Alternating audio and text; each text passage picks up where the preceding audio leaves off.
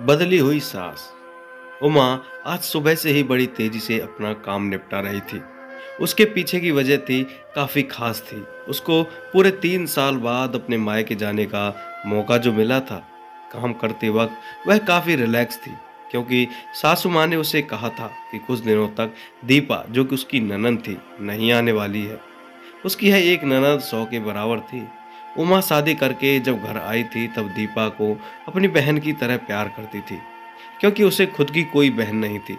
लेकिन कुछ ही हफ्तों में ही उसे पता चल गया था, उसकी ननद किसी जेलर से कम नहीं है। हालाँकि दीपा का ब्याह हो चुका था, लेकिन उसे अपने ससुराल वालों की किसी भी प्रकार की चिंता नहीं थी। उसे जब जी करता वह अपने मायके चली जाती, और मायके वालों पर अपना हुक्म चलाती, खासकर अपनी भाभी पर।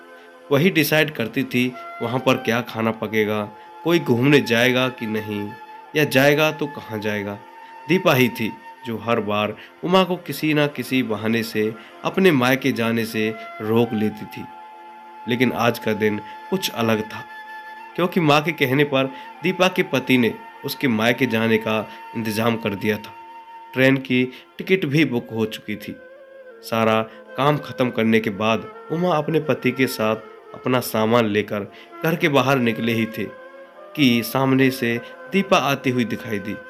दीपा जिसके मुँह पर बड़ी सी स्माइल और आँखों में चमक थी, वहीं दूसरी तरफ़ उमा की आँखों में उसको देखकर पानी आ गया, जो अब आँसू के रूप में झलकना बाकी था।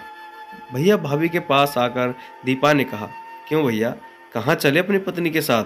सैर सपाटा करने के लिए? अपनी बहन को भूल गए क्या?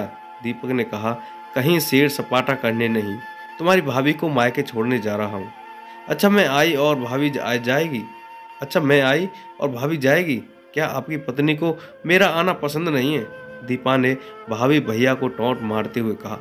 मन में उदासी और आँखों में नमी लिए उमा पलट कर घर के अंदर जाने लगी क्योंकि उसने मान लिया था कि इस बार भी दीपा की वजह से उसके मायके जाना कैंसिल हो जाएगा। लेकिन तभी सामने से उसकी सास आई और बोली तुम दोनों अभी तक रेलवे स्टेशन नहीं गए? क्या गाड़ी के पीछे दौड़ती हुई जाओगे? दीपा बीच में टपकते हुए बोली, यह क्या कह रही हो माँ?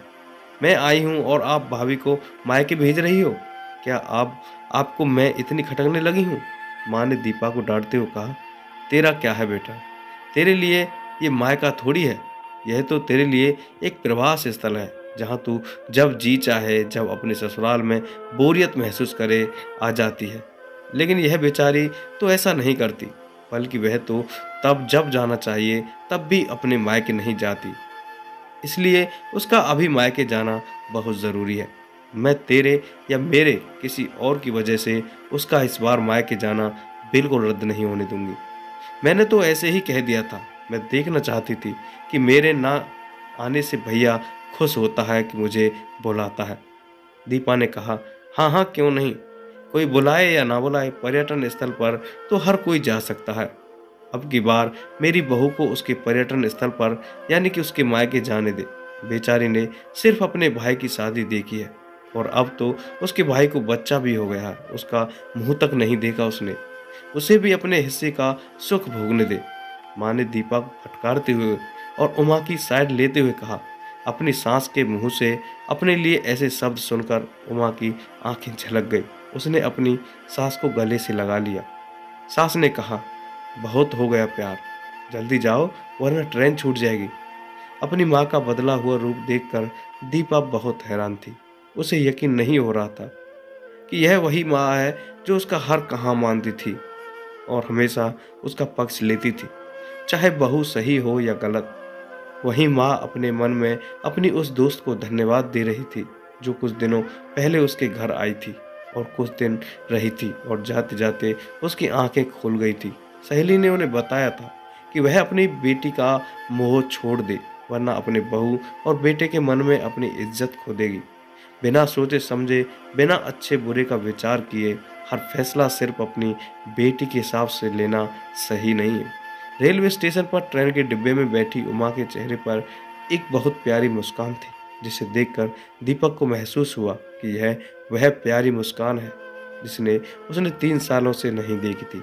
सच ही तो है मायका महिलाओं के लिए पर्यटन स्थल ही तो होता है, जहाँ वह अपने ससुराल की सारी चिंताएँ, टेंशन भूलकर उस दिन आराम से रह सकती हैं।